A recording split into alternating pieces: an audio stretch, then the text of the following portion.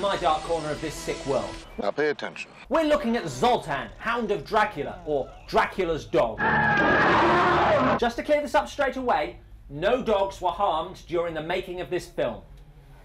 This one got buried, but that's okay, right? The movie follows Zoltan and Dracula's faithful servant, Veit, who can communicate with Zoltan telepathically. Zoltan, Remember, telepathy only works if you purse your lips. it is time. Having been resurrected by an idiot, the pair set out to track down Dracula's last surviving descendant, Young Michael Dracula Michael Dracula. And where is he now? in America.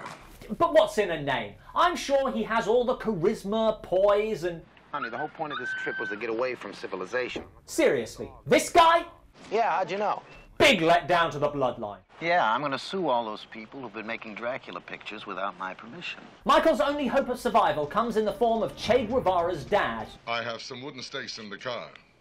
I will show you how to use them. played by José Ferrer, the only man to win an Oscar, an Emmy, and a Tony for playing the same character.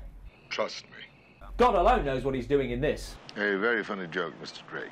All Zoltan has to do is bite Michael. Don't forget, he wants your blood. That's it. And to achieve this, he invites set about recruiting other dogs. Why? Why not humans? See, if they turned one human, he could have opened the bloody door for them. Because at times, only opposable thumbs will do. What the hell are wild dogs doing in this park? This movie is a slave to a concept that is not so much flawed as catastrophically bollocks. Oh, yes, of course, I know what that means. I mean, there are other issues. You can't take a picture of a vampire. Why isn't Zoltan bursting into flames at this point? Oh, that thing. Yeah, that thing. Then there's all this last surviving descendant cobblers. Don't forget, you are the last of the line. He's got two kids! You can't miss them! Because the movie effectively stops for half an hour of National Lampoon's Transylvanian Vacation.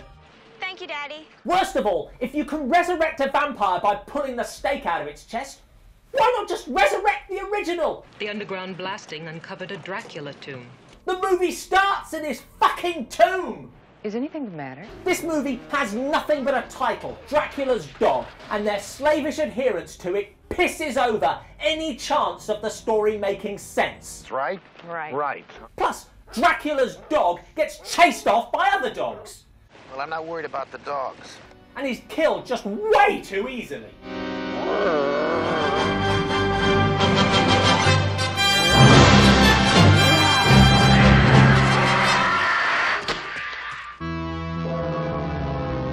Was the last of them. Still, at least they managed to save the most truly ridiculous moment to the end.